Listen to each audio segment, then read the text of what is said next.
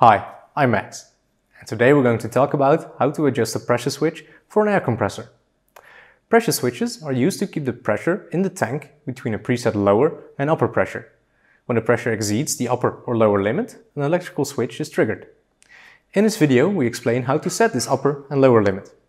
For these steps you need a screwdriver and two free hands. Step 1. For safety, turn off the power before you start.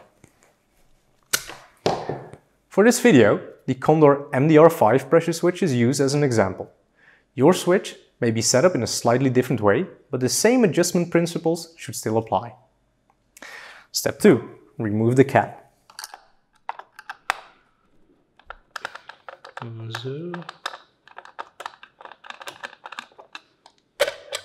You can see the connection point for the motor and the power supply.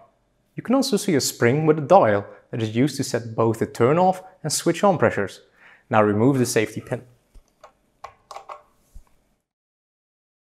Step 3. To find the right settings, it is important to use a secondary pressure reading.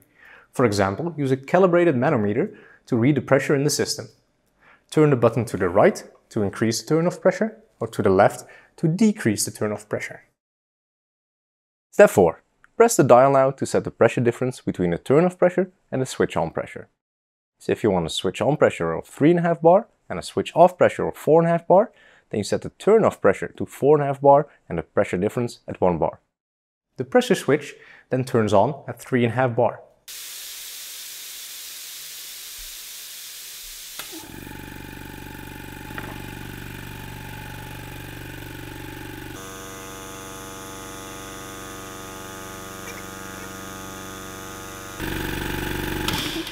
Note that adjusting the pressure and pressure difference might require quite a few turns of the button. Step 5. Put the safety pin back on the pressure switch and place the cap back. Your pressure switch is now all set. Please note that some pressure switches have three springs. Two for the switch on pressure and one for the pressure difference. So you have to set it in a slightly different way, but the principles still remain the same. If you have any questions about setting up your pressure switch, then please contact me or anyone else from Tameson.